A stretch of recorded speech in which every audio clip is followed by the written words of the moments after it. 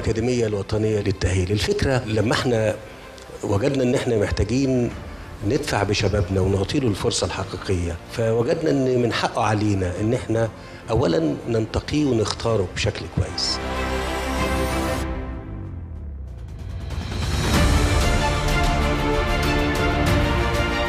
بنتعامل مع الأكاديمية الوطنية وبنحريصين على إن الفكرة تفضل فكرة متماسكة وبنقول إن إحنا بنطورها وهنطورها على طول.